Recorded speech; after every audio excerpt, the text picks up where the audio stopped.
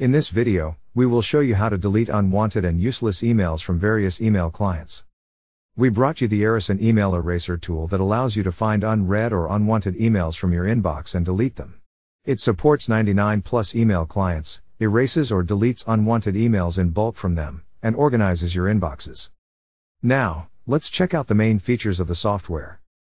Delete or erase unwanted emails in bulk from 99 email clients such as Gmail, Yahoo, IMAP, Office 365, Google Workspace, etc. You can use email filters to sort and get rid of emails you don't want based on sent, subject, attachments, and from.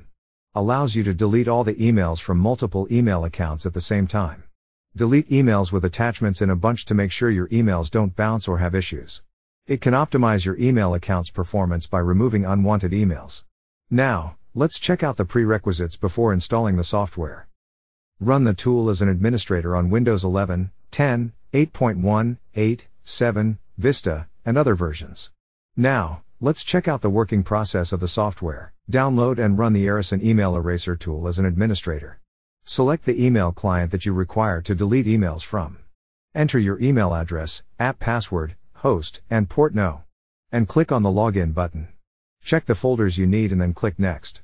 Select the date range, from, to, and subject criteria to delete the email.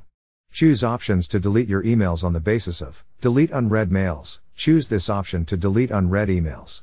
Delete emails having attachments. You can delete all your emails containing attachments by choosing this option. Emails larger than. Select this feature and specify the size limit to delete emails. Emails older than. Specify the months and delete emails accordingly. In the social notification mail feature, type the name of the social application and click on the Add button, and it will delete all the emails related to that social. Click on the Delete button to start the process. Click Yes to confirm that you want to delete your emails according to cleanup filters. Lastly, the software shows you a process result, then click on the Download Report button to analyze the process. Thank you for watching the video. For more updates, subscribe the channel. You can follow us on Facebook, Twitter, and LinkedIn.